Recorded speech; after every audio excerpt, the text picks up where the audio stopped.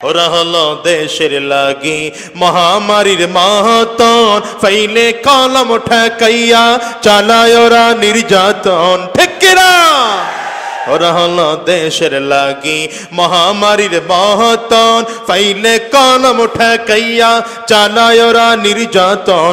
ঘুষের টাকায় ওদের ভুরি ঘুষের টাকায় ওদের ভুরি করে যে টান টান, ওরা শিক্ষিত শয়তান।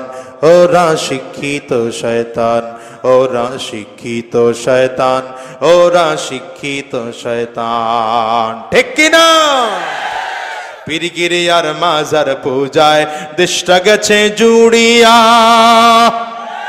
শিরক বিদত ভণ্ডামিতে দেশটা গেল ভরিয়া। ঠিক না? গাজার কুলকি টান মারিয়া, গাজার কুলকি টান মারিয়া, দেখায় খাজার শান, ওরা শিক্ষিত শয়তান। এখন তো পীর আরে বাবা রে বাবা, এক একজন পীর কি দেখেন না পিসাবগর ধরন, এক একজন পিসাবের পেট। এই ভুল বুঝবেন না, আমি কিন্তু কোনো হক্কানি পীরদের বিরুদ্ধে বলছি না। আমিও কোনো হক পীরের মুরিদ। আমিও কোনো হক পীরকে মোহাব্বত করে ভালোবাসি, কিন্তু তার মানে এই না, যেগুলো ইমান চোর, ইমান ডাকাত ডাকাতের বিরুদ্ধে বলব না, এটা হতে পারে না। বাংলার জমিনে পীরগিরি একটা আলাদা ব্যবসা। পুঁজি ছাড়া ব্যবসা। হ্যাঁ? আর এই পীরগুলো মুড়িদের পকেটের দিকে তাকায় থাকে। একজনের নাম লাগাইছে, তালা বাবা। নাই নাই নাই। শিকল বাবা। সাবি বাবা। হ্যাঁ? আছে আছে আছে। এখন তো ক্ষমতা আল্লাহর হাতে না ক্ষমতা বলে সব বাবার হাতে।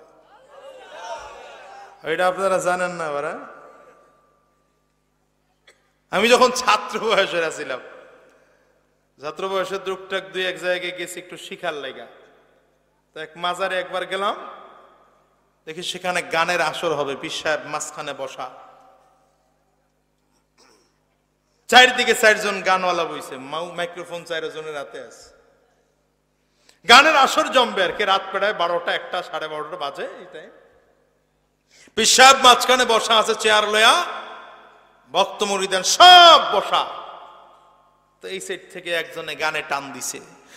আল্লাহর ধন নবীর দিয়া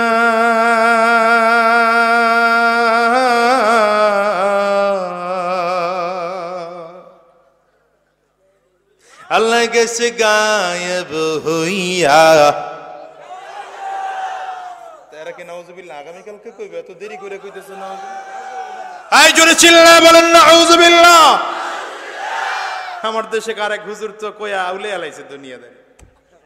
হ্যাগালি জনগণের কাছে ভাইরালি হবার চায় সারা জীবন। কথা কয় না কেন? সে জনগণের মুখে মুখে সব সময় আলোচনায় থাকতে চায়। নেগেটিভ হোক আর পজিটিভ হোক। একবার হয়তো ঢেলে দিয়ে আর একবার পাবলিকরে বসায় দিয়া খালি ভাইরালি হয় সে। এখন আবার আল্লাহর ধন নবীরে দিয়া লাইছে, নবীর ধন খাজারে দিছে। নাউজুবিল্লাহ, কয় নাই, কে কে দেখেন তো চিল্লায় জোরে বলেন। আমি লোকটার নামটাও নিতে চাচ্ছি না। মাহফিলের ময়দানগুলো যদি হাসি আর তামাশার কারণ হয়, খোদার কসাম করে বলি, ওই মাহফিলটা দিয়ে সাফ হবে না। আল্লাহর গজব নাজিল হবে ওই মাহফিল দিয়ে। মাহফিলটা কোনো হাসার ময়দান না। হ্যাঁ তার মানে এই এবার না একেবারে মুখ বন্ধ করে গুমরা করে বসে থাকবেন। হাসবেন হাসার একটা লিমিটেশন আছে। হাসার একটা লিমিটেশন আছে না? নবীজিও হাসতেন ইসলাম ন্যাচারাল। কথা কয় না তো। আমার নবীজিও হাসতেন। হজরত আলী রদি আল্লাহ আনহুর সাথে নবীজি সাহাবাই কারাম নিয়া খানা খাইতেছেন। কত সুন্দর করে খানা খাচ্ছেন। খেজুরগুলো খায়া খায় নবীজি বিচিগুলো সব জামাইয়ের সামনে রাখছে, হজরত আলী রদি আল্লাহ সামনে। শ্বশুর মিয়া জামাইয়ের সামনে রাখছে সবগুলো। কিছুক্ষণ পরে খায় আমাগর মধ্যে একজন আছে বেশি খায়। কই? সাহাবিদের ডাক দিয়া নবী কয়, দেখো তো, কার সামনে বেশি বেশি হয় বেশি খায়। আহ! দেখছেন নবীজির দুষ্টমি করাটাও একটা মাত্রা ছিল। আর আমগর কিছু আলোচক আছে, আল্লাহ এগুলোর হৃদায়াত করুক। আমিন বলেন? মাত্র অতিরিক্ত। এত জোকস করা তো উচিত না। এটা কোনো জোকসের জায়গা না। নাটকের মঞ্চ না মাহফিলগুলো হজরত আলী রদি আল্লাহ বুঝলাম, আমি নেলে বেশি খাই, কিন্তু আর একজন রাক্ষসের মতো সব খায়ালায় সাহাবিরে কয় এইটা আবার কেটা কয় টাকায় দেখো, কার সামনে বিসি নাই। বিসি সুদ দেখাইছে। সুবহান সুবহান কত সুন্দর ছিল, কত চমৎকার ছিল। নবীজির সেই চমৎকার আচরণ, ঠিক না? আর এখন আউলে ফেলাইছে সব। সব আউলে ফেলাইছে। হে নতুন করে খাওয়া শুরু করছে, আল্লাহর দন নবীর দিয়া নাল্লায় গেছেন গায়ে ভাইয়া আর নবীর দন খাজায় ভাইয়া বৈশা রয়েছে আজমিরি। সব ক্ষমতা বাবা আজমিরির, নবীরও ক্ষমতা নাই, আল্লাহরও ক্ষমতা নাই। এজন্যই তো আল্লাহর কাছে সন্তান চায় না, মাজারে গিয়া সন্তান চায়। নাই নাই নাই। নিজের জন্মদাতা বাবা, গর্ভধারিণী মা, তার কাছে কোনোদিন গরু আর মহিষ নিয়ে যায় না। এটা কমলা না খাওয়াইতে পারে না, কপাল পোড়া। বাবার দরবারে গরু লইয়া দৌড়ায়। ভাবনা করে এলাকায় তো নাই ঠাই। তাও আছে।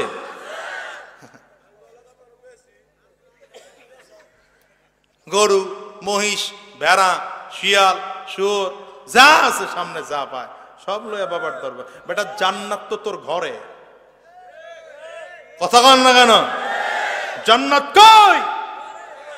জান্নাত তোমার ঘরে, বাজারে যাও, এক খালি কমলা আনো, এক কেজি মালটা আনো, এক পাশে বৃদ্ধ বাবাকে বসাও, আর এক পাশে বৃদ্ধা মাকে বসাও, নিজের হাতে কমলার কোষগুলো খুলে খুলে একটা বাবার মুখে দাও, একটা কোষ মায়ের মুখে দাও। খুদার কসম করে বললাম, জান্নাত তোমার জন্য আজীব হয়ে যাবে। তুমি উল্টা জায়গায় গিয়ে জান্নাত খুঁজো, জীবনে জান্নাত পাইবা তোমার। হ্যাঁ বাবার দরবারে জান্নাত খুঁজে যায়। আল্লাহর দন নবীরে দিয়া লাইছে। ওই কি করতেছে যুবক? কয় নম্বর আসমানে আছে? কিয়া কই যাইতেছে হ্যাঁ ভাইয়া? আহ! আজমেরে চলে যাচ্ছে। আহা আহা, এই জাতিকে নিয়ে কোথায় যাবে? আরে কি ওয়াজ করতে বসাইছেন বলেন তো? ডাক্তারের কাছে গেছে রোগী মলম লাগানোর জন্য। কোন জায়গায় মলম লাগাবে? পুরো শরীরেই তো ভাব। ওয়াজের মঞ্চে বসলে চিন্তা করে পাই না, কোন বিষয়ে কথা বলব? যেই বিষয়ে কথা বলতে যে ওই বিষয়টি সমস্যা। আল্লাহ হেফাজত করুক, আমিন বলেন। আরও জোরে চিল্লায় বলেন, আমিন। এ জাতীয় ভণ্ড প্রতারক, আমি এর চার নিচু ভাষা পারলাম না বলতে, আমি মাহফিলগুলোতে নিচু ভাষা বলি না। তারপরে বলতে বাধ্য হচ্ছি, সে আল্লাহর ধন নবীরে দিয়ে লাইছে। নবীর ধন খারে দিছে, খাজারে দিয়ে লাইছে। বুঝেন আপনি বিষয়টা? ইমান থাকে না তো? এ বিশ্বাস যদি কেউ করে যে আল্লাহর ধন নবীরে দিছে আর নবীর ধন খাজায় পাইছে, সাথে সাথে কাফির হয়ে যাবে, মুরতাদ হয়ে যাবে এজন্যই তো সন্তান চায় না আল্লাহর কাছে। সন্তান চায় কার কাছে? সন্তান দেওয়ার মালিক কে? আঙ্গুলটা উঁচা করে চিৎকার করে জোরে বলেন শান্তি দেওয়ার মালিক কে? সম্পদ দেওয়ার মালিক কে? টাকা পয়সা দেওয়ার মালিক কে? এক হাজার বাবারে দিয়ে লাইস তো ওইটা কয়ালা মনে থাকবে? হ্যাঁ? এই সামনের দিকে একজন এই ডাইন কোনায় যে বইছে হ্যাঁ এই টানটা দিছে। বামে আরেকজন বই আরেকজনে টান দেয়। কম। ও প্রথম তো কইছে, আল্লাহর ধন নবীর দিয়ে আল্লাহ গেছে গায়ে বইয়া এ আবার কয়, নবীর ধন খাজারে দিয়া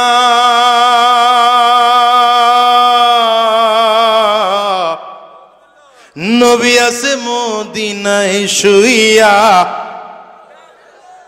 ওই কোনায় যে বইছে হ্যাঁ শুরু করছে।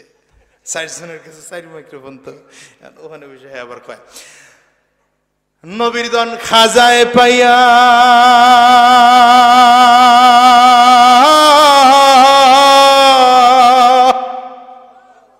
কোনায় তিনজনে মিললে দেয়। মানে হ্যাঁ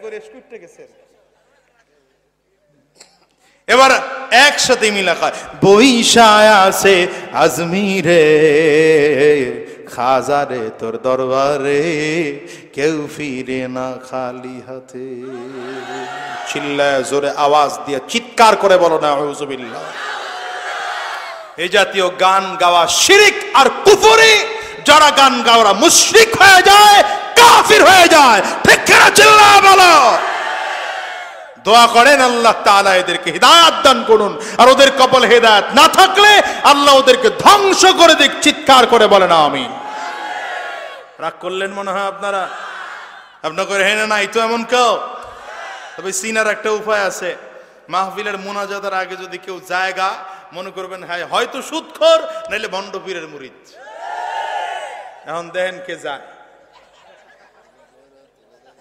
না, জরুরত নাই এখন আর কোনো। আপনারা কইলে আমি আর আধা ঘণ্টা কথা বলব। আমার ঘড়িতে এগারোটা পাঁচ বাজে। আপনারা আমারে দুষতে পারবেন না। আমি আসছি এখানে আটটার আগে। আটটা উপস্থিত হয়েছে। কর্তৃপক্ষ আমার উঠেছে সাড়ে দশটায়। দশটা